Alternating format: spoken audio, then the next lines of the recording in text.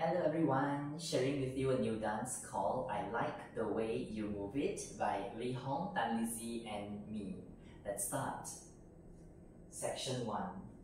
1, 2, and 3, 4, 5, 6, 7, 8, and Section 2. 1, 2, 3, 4, and 5, 6, 7, 8, and Section 3. 1, 2, 3, and 4, and 5, 6, 7, 8.